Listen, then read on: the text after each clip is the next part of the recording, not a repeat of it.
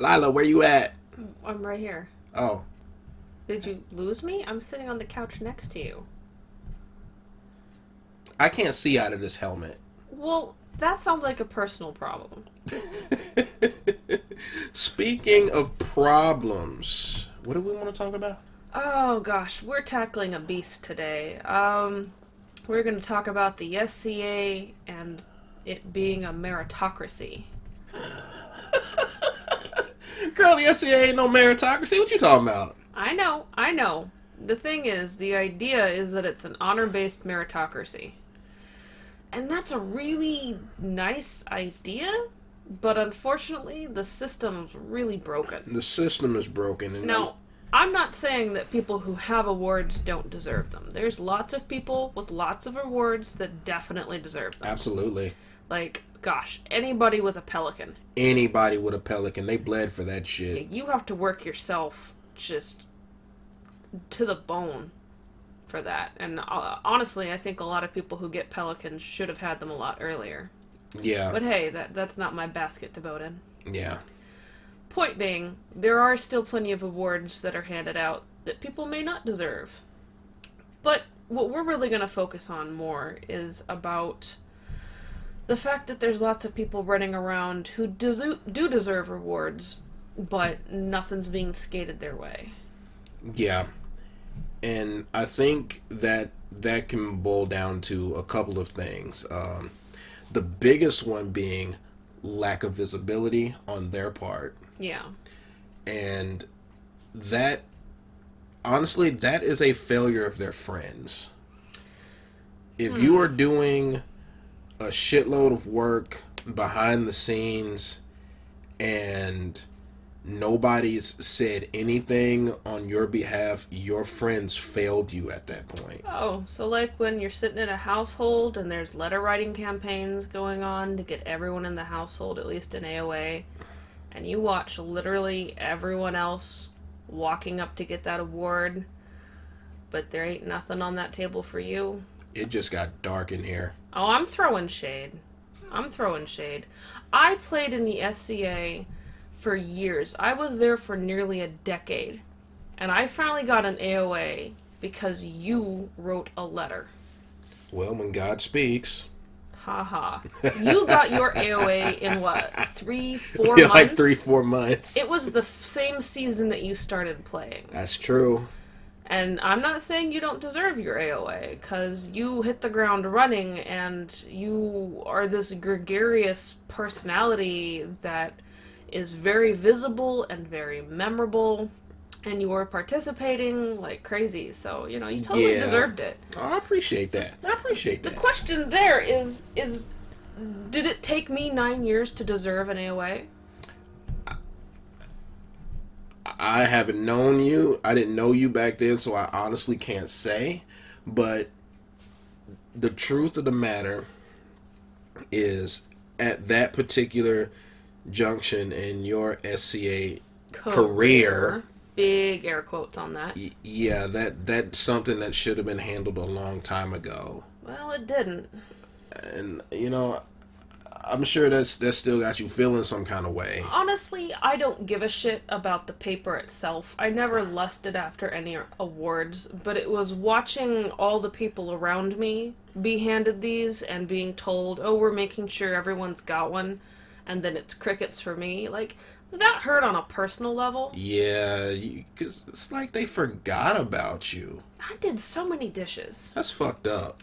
Point being, because the uh, SCA has its awards on a meritocracy slash letter writing slash somebody decided to notice you system, there's a lot of big fucking cracks and a lot of people, you know, fucking slip and sliding down that shit. Yeah, Um, and there's really no way to fix it without like really messing up the system. Like, uh, I know some of the LARP societies that you've um, looked at and, and played a little bit in, yeah, where you're actually making a D&D style character. You have a character sheet and you level up by attending events, by participating in things. and correct. there is actually somebody with a binder binders of people's sheets and they will take your attendance and note off that you came to this, you came to this, you participated in this tourney, you participated in this contest. Participated in battle games, Amtgard, we're talking about you. Uh, Yeah, total shout out for Amtgard for having a system in place where people get level points for participating and it's tracked. Yeah. I guess the only thing I didn't really care for with Amtgard was magic, but you know that, that that's a personal that's that's taste another that's another thing. thing we'll talk about. We'll talk about our experience in Amtgard later. throwing tennis bars. Point being, and then there's like, like you were saying, the Boy Scouts for their literal their merit badges. Yeah, I don't, I don't know anything about Boy Scouts Well, or Girl Scouts my except dad- for cookies and not tying. my dad was a scoutmaster and he showed my brother all the criteria that was required for one to obtain merit badges there are certain tasks that have to be completed So there's literally a checklist. yeah there, there's a paper trail Okay. now the thing is with the sca being as big as it is and the community being more like a spider web than like you know an individual troop like the boy scouts Yeah. you know there there's there's a lot there's going to be a lot of i don't know if cross contamination is the right word to use I don't know. but uh there, there's going to be a, a lot of crisscross between different people and different groups different different fighting companies different barons different kings different queens you know there are a lot of eyes on you and yet there could also be no eyes on you at all like me, And- my entire career. I, I, I. You can't tell from how mouthy I am on these podcasts, but I'm actually a pretty shy and introverted person. yeah Like, I don't want to be out in the thick of it, busting elbows against people at a party. Like, I want to hang out at home and do chill things. Like, I don't want to go to big parties. I'd rather hang out with, like, a group of friends. And so, because I'm not actively pursuing getting attention, I just kind of exist in the background. I'm just another white chick hanging out in the background. And sometimes being invisible like that is a superpower. You know, speaking of the hunger for attention, Oh my god, you can see it in people's eyes it sometimes. it gets bad Yeah, sometimes. because people who want to advance in the SCA understand that that's only going to happen if they get noticed. It's like everyone's chasing after somebody with a pointy saying, "Recognize me, senpai." and it, it I don't want to like trash on anybody that's trying to, No. to progress because good on them for putting the work in. But it's like if you aren't a gregarious person that is memorable and recognizable, like like you, Stelios, you could be working your buns off and no one's gonna care. And that's sad to me. I mean, people people do all sorts of things that make the SCA run, and it's a lot of the gross stuff. yeah, It's staying in camp and doing the dishes. It's Yeah. leaving court early to make sure that there's food on the table. Yep. It's the cleanup after the feast, the prep before the feast, um, carton water bottles and plates of pickle slices onto the warfields till you have two degree sunburns on your back and ride back with blisters. Like, Can can I take a minute to tell the water bearers specifically how much we love and appreciate each and every one of you because while we are out here fighting and killing and pretending to die if it was not for you we would be like dead for real real and not Yeah. just for play play for realsies.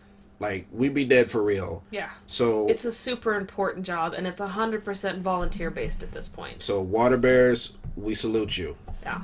And oh my god, anyone who's willing to go and move the freaking hay bales.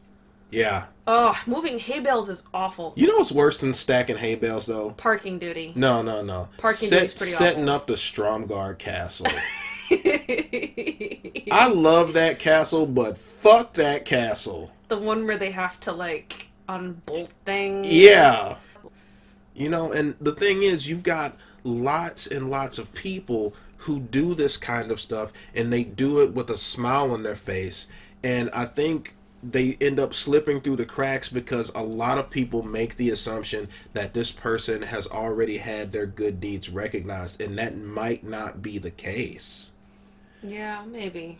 so the way we fix that, you know, we can't do a hard fix and change the system. That'll just break every day. Yeah. But what you can do as an individual is to keep your eyes open. Yeah. l- And look outside your social circle and your immediate surroundings and look in the corners for the people who deserve to be recognized. Don't assume that somebody's been recognized. And gosh darn it, if they've been recognized and they're still doing the work, maybe they deserve to be recognized again. yeah, Don't assume that they have one. Don't assume that someone else will write that letter. Letter writing to the king and queen is easy. easy. It's so easy. It's an email. Like I've written the king and queen letters and I'm lazy as fuck about that stuff. So yeah, it can be done, and you know, I think if we could just be a little bit more considerate and a little bit more observant of other people, you know, it would it would do a great job of making everyone feel not only included but recognized for their work because a lot of people put in a lot of work into this. So if you see something, Say something. Work from the mindset that if you don't write that recommendation letter, that it's straight up not going to happen. yeah, You know, don't don't assume it's someone else's responsibility. Assume that it's your responsibility. Just a generic mindset to like move forward and be mindful of what other people are doing. yeah, It's, it's a simple solution, and all it means is everyone who wants this particular issue to change to just put into that. I mean, it's not hard. You know, this is what we call being the change you want to see. Be the change you want to see. So, once again, if you see something, Damn it, say something.